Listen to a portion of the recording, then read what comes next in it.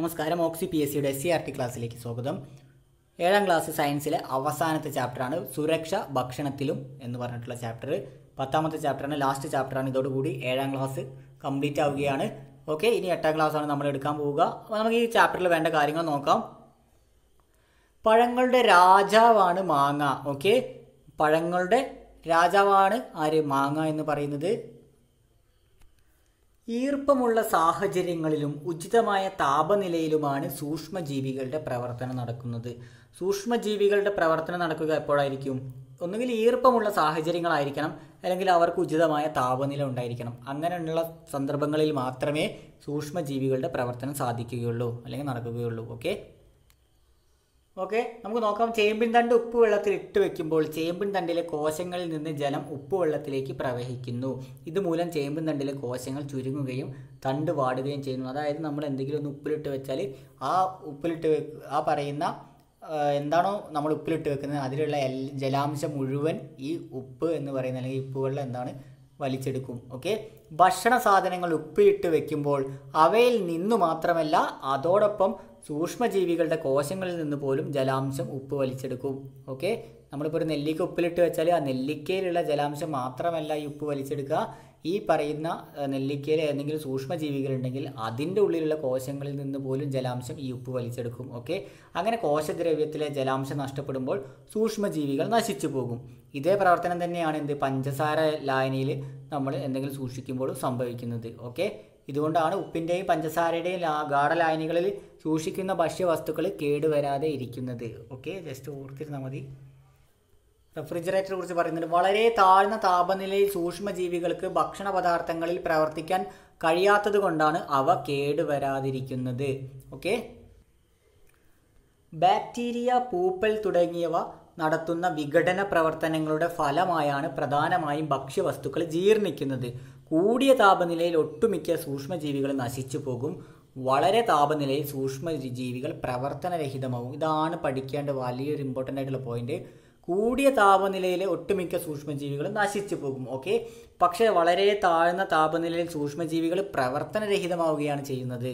അതാണ് important important ആയിട്ടുള്ള കാര്യമാണ്. കൂടിയ താപനിലയിൽ സൂക്ഷ്മജീവികൾ നശിച്ചു പോവുകയാണ്. പക്ഷെ വളരെ താഴ്ന്ന താപനിലയിൽ സൂക്ഷ്മജീവികൾ പ്രവർത്തനരഹിതമാവുകയാണ് ചെയ്യുന്നത്. ഓക്കെ ചില ബാക്ടീരിയകളും വൈറസുകളും ഫംഗസുകളും ഭക്ഷ്യവസ്തുക്കളിൽ വളരുന്നത് ഭക്ഷ്യജന്യ രോഗങ്ങൾക്ക് കാരണമാകും. ഇത് തടയാൻ ലോകാരോഗ്യ സംഘടന അഥവാ ഡബ്ല്യു എച്ച്ഒയുടെ അഞ്ച് സുരക്ഷിത മാനദണ്ഡങ്ങൾ നിർദ്ദേശിക്കുന്നുണ്ട്. ജസ്റ്റ് ഒന്ന് ഓർത്തിരിക്കണം.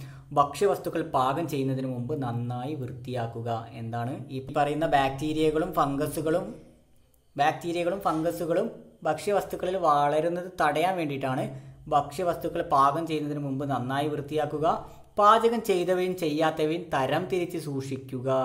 അതുപോലെ ഭക്ഷ്യവസ്തുക്കൾ യോജ്യമായ രീതിയിൽ പാകം ചെയ്യുക സുരക്ഷിത താപനിലയിൽ സൂക്ഷിക്കുക ശുദ്ധജലവും ശുദ്ധ ശുദ്ധമായ അസംസ്കൃത വസ്തുക്കളും ഉപയോഗിക്കുക. ഓക്കെ?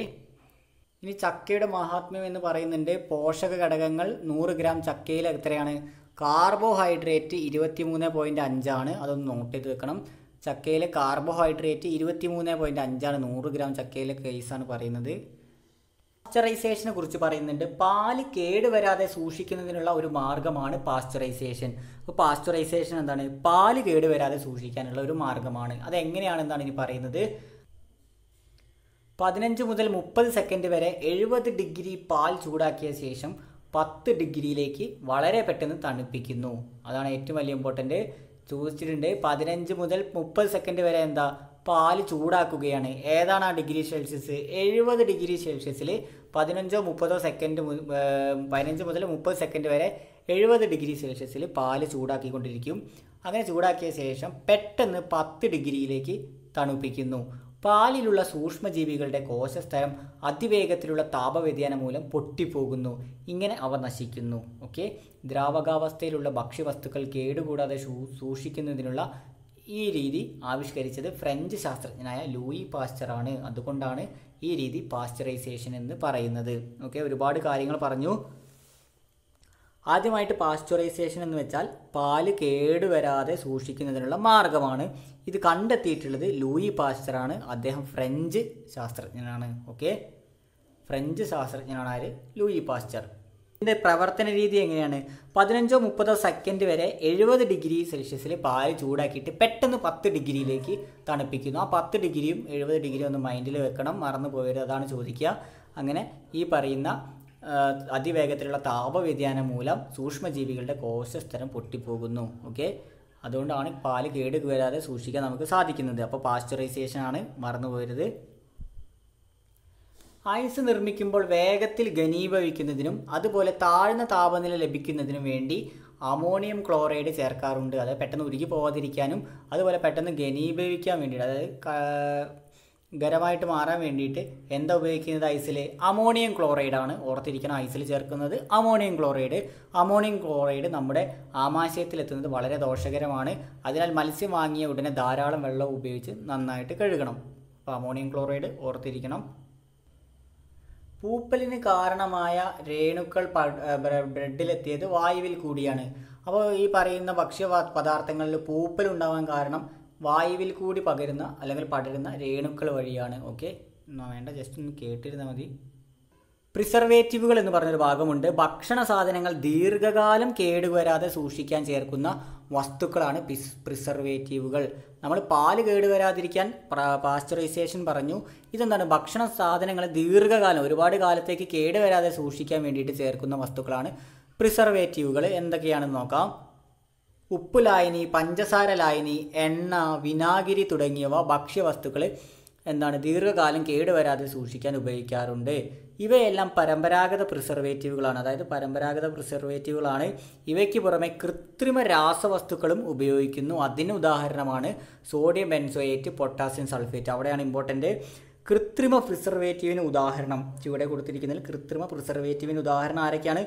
ഒന്നി ഒന്നെന്താണ്? സോഡിയം ബെൻസോയേറ്റും പൊട്ടാസ്യം സൾഫേറ്റും സോഡിയം ബെൻസോയേറ്റ് പൊട്ടാസ്യം സൾഫേറ്റ്. ഇത് രണ്ടും കൃത്രിമ രാസവസ്തുക്കളാണ് അല്ലെങ്കിൽ കൃത്രിമ പ്രിസർവേറ്റീവുകളാണ്.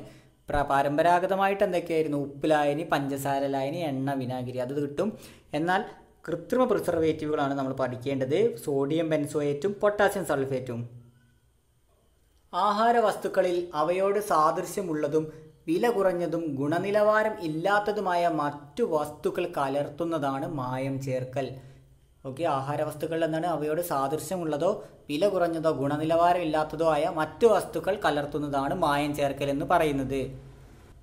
മുളക് പൊടിയിൽ ഇഷ്ടികപ്പൊടി ചേർക്കുന്നതും കാപ്പിപ്പൊടിയിൽ പുളിങ്കുരുവിന്റെ തോട് പൊടിച്ച് ചേർക്കുന്നതും എന്താണ്? മായം ചേർക്കൽ തന്നെയാണ്. ഒരു പദാർത്ഥത്തിൽ നിന്ന് ഗുണമേന്മയുള്ള ഘടകങ്ങൾ നീക്കം ചെയ്യുന്നതും മായം ചേർക്കലായിട്ട് കണക്കാക്കാം. ഒരു പദാർത്ഥത്തിൽ നിന്ന് അതിന്റെ ഗുണമേന്മയുള്ള ഘടകങ്ങൾ നീക്കം ചെയ്യുന്നതും മായം ചേർക്കലായിട്ട് കണക്കാക്കാം. ഈ പറയുന്ന പോലെ മുളക് പൊടിയിൽ ഇഷ്ടികപ്പൊടി ചേർക്കുന്നതും കാപ്പിപ്പൊടിയിൽ പുളിങ്കുരുവിന്റെ തോട് ചേർക്കുന്നതെല്ലാം എന്താ മായം ചേർക്കലാണ്. ഓക്കെ? ഓക്കെ പാലിന്റെ ഗുണനിലവാരം അളക്കാൻ സൊസൈറ്റികളിൽ ഉപയോഗിക്കുന്ന ഉപകരണമാണ് ലാക്ടോമീറ്റർ. നമുക്കറിയാം ലാക്ടോമീറ്റർ പാൽ ഓർത്തിരിക്കണം. ലാക്ടോമീറ്റർ ഓക്കെ അഞ്ച് മില്ലി ലിറ്റർ പാലെടുത്ത് അതിലേക്ക് രണ്ടോ മൂന്നോ തുള്ളി അയഡിൻ അയഡിൻ ലായനി ചേർത്ത ശേഷം ആ ലായനിക്ക് ഇരുണ്ട നീല നിറമാണെങ്കിൽ അന്നജം കലർന്നിട്ടുണ്ടെന്ന് മനസ്സിലാക്കാം. ഓക്കെ അഞ്ച് മില്ലി ലിറ്റർ പാലിലേക്ക് അയഡിൻ ലായനി ചേർത്താൽ ഇരുണ്ട നീല നിറമായാൽ അതിന്റെ അർത്ഥം അതിൽ ധാരാളം അന്നജം കലർന്നിട്ടുണ്ട് എന്നാണ്. ഓക്കെ നീല നിറമാണ് അന്നജം. ഓക്കെ ആരട്ടത് അയഡിൻ ലായനിയാണ് അതിന് വേണ്ടിയിട്ട് ഉപയോഗിച്ചിരുന്നത്. Okay food safety and standard act രണ്ടായിരത്തി ആറ് എന്താണ് food safety and standard act രണ്ടായിരത്തി ആറ് ഭക്ഷ്യവസ്തുക്കളുടെ ഗുണനിലവാരം ഉറപ്പുവരുത്തുന്നതിനും സുരക്ഷയ്ക്ക് ആവശ്യമായ മുൻകരുതലുകൾ എടുക്കുന്നതിനും ആവശ്യമായ നിർദ്ദേശങ്ങൾ അടങ്ങിയ നിയമമാണ് ഇത്.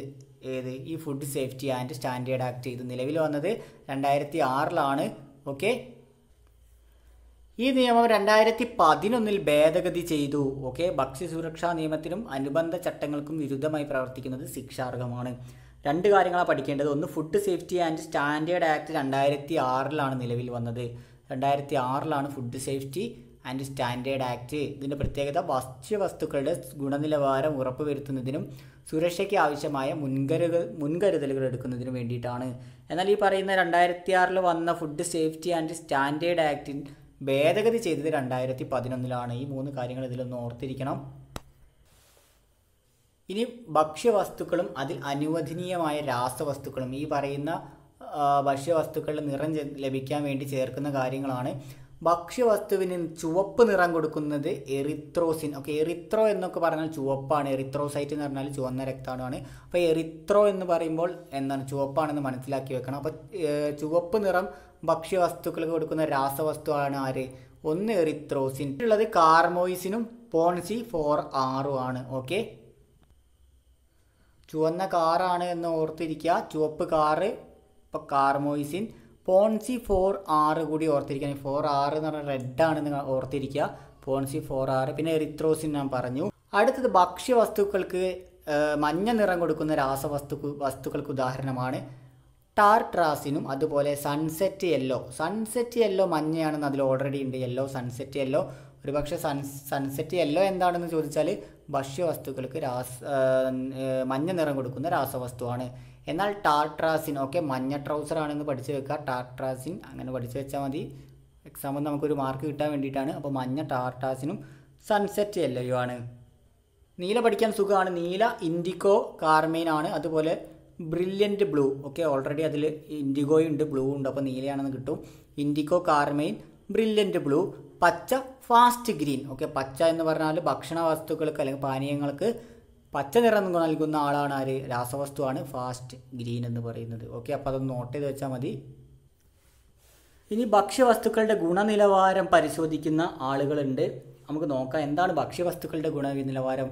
Food safety and standard authority of India food safety and standard authority of India F S S A I നമ്മൾ നേരത്തെ പറഞ്ഞു രണ്ടായിരത്തി ആറിൽ ഒരു നിയമം ഉണ്ടായിരുന്നു. അത് food safety and standard act ആണെന്ന് പറഞ്ഞു. പതിനൊന്നിൽ ഭേദഗതി ചെയ്തു. ഇതെന്താണ്? ഭക്ഷ്യവസ്തുക്കളുടെ ഗുണനിലവാരം ഉറപ്പുവരുത്താൻ വേണ്ടി വന്നിട്ടുള്ള ഒരു ഏജൻസിയാണ്. ഈ ഏജൻസി എന്താണ്? ഭക്ഷ്യവസ്തുക്കളുടെ ഗുണനിലവാരം പരിശോധിക്കാനാണ്. നേരത്തെ പറഞ്ഞത് എന്തായിരുന്നു? Food safety and standard act അത് നിയമമാണ് രണ്ടായിരത്തി ആറിൽ വന്നത്. ഇതൊരു ഏജൻസിയാണ്. Food safety and standard authority of India okay നമുക്ക് അറിയുന്ന കാര്യമാണ്. നോക്കാം. അഗ്മാർക്ക് എന്ന് പറഞ്ഞിട്ട് കൊടുത്തിട്ടുണ്ട്. എന്താണ് അഗ്മാർക്ക്? അഗ്മാർക്ക് നമുക്കറിയാം അഗ്. ഓക്കെ ധാന്യങ്ങൾ പഴങ്ങൾ തുടങ്ങിയവയും ഭാഗികമായി സംസ്കരിച്ച വെർമിസെല്ലി പോലുള്ള ഭക്ഷ്യവസ്തുക്കളുടെയും ഗുണനിലവാരം ഉറപ്പുവരുത്തി എന്നുള്ളതിനുള്ള മുദ്രയാണ് എന്ത്? അഗ്മാർക്ക്. ഓക്കെ? ആരൊക്കെയുണ്ട് ധാന്യങ്ങൾ പഴവർഗങ്ങൾ തുടങ്ങിയവയുടെയും ഭാഗികമായി സംസ്കരിച്ച വെർമിസെല്ലി പോലുള്ള ഭക്ഷ്യവസ്തുക്കളുടെയും ഗുണനിലവാരം ഉറപ്പുവരുത്തുന്നതിനുള്ള മുദ്രയാണ് Agmark. Non vegetarian non vegetarian vegetarian കൊടുത്തിട്ടുണ്ട് പച്ച കളറ് ഓക്കെ ജസ്റ്റ് നോക്കിയിരുന്നാൽ മതി. ഭക്ഷ്യവസ്തുക്കളുടെ പാക്കറ്റിൽ എന്തെല്ലാം കാര്യങ്ങൾ രേഖപ്പെടുത്തിയിട്ടുണ്ട്? ഗുണനിലവാരം സൂചിപ്പിക്കുന്ന അടയാളങ്ങൾ ഉണ്ടോ എന്ന് നോക്കണം. എക്സ്പയറി ഡേറ്റ് പാക്ക് ചെയ്ത തീയതിയൊക്കെ നോക്കണം. ഘടക വസ്തുക്കളുടെ അളവുകൾ ഒക്കെ എന്തൊക്കെ ചേർത്തിട്ടുള്ളത്? നിർമ്മാതാക്കളുടെ പേര് വിവരങ്ങൾ പരമാവധി വില അഥവാ M R P marginal retail price സസ്യ സസ്യേതര വസ്തുക്കൾ ഉപയോഗിച്ചതിന്റെ അടയാളമുണ്ടോ എന്നൊക്കെ നമ്മൾ പരിശോധിക്കേണ്ടതാണ്. ജസ്റ്റ് ഒന്ന് കേട്ടാൽ മതിയൊന്നും വേണ്ട. അപ്പോൾ ഇത്രയേ ഉള്ളൂ. ഏഴാം ക്ലാസ് സയൻസിലെ പത്താമത്തെ ചാപ്റ്റർ ആയിട്ടുള്ള സുരക്ഷ ഭക്ഷണത്തിൽ എന്നുള്ള ചാപ്റ്ററിൽ കുറച്ച് കാര്യങ്ങൾ പറഞ്ഞിട്ടുള്ളൂ. ജസ്റ്റ് ഒന്ന് കേട്ട് നോക്കുക. ഓക്കെ ഇമ്പോർട്ടന്റ് ആയിട്ടുള്ള കാര്യങ്ങളാണെന്ന് തോന്നുന്നുണ്ടെങ്കിൽ നോട്ട് എഴുതി വെക്കുക. അപ്പോൾ ഏഴാം ക്ലാസ് നമ്മളിവിടെ കംപ്ലീറ്റ് ചെയ്തു. ഇനി മുതൽ എട്ടാം ക്ലാസ് ആണ് എടുക്കാൻ പോകുന്നത്. ഓക്കെ നമുക്ക് ഇനി ഇമ്പോർട്ടന്റ് ആയിട്ടുള്ള കാര്യങ്ങൾ മാത്രമേ പറഞ്ഞു കൂടുതൽ പെട്ടെന്ന് തീർക്കണം. എട്ടാം ക്ലാസ് എട്ട് ഒമ്പത് പത്ത് സോഷ്യൽ ആയാലും സയൻസ് ആയാലും നമുക്ക് പെട്ടെന്ന് കാര്യങ്ങൾ തീർക്കണം. അതുകൊണ്ട് തന്നെ ഇമ്പോർട്ടന്റ് ആയിട്ടുള്ള കാര്യങ്ങളെ പറയുകയുള്ളൂ. ഓക്കെ എന്തായാലും നന്നായിട്ട് നോക്കുക. അടുത്ത ക്ലാസ്സിൽ കാണാം. താങ്ക്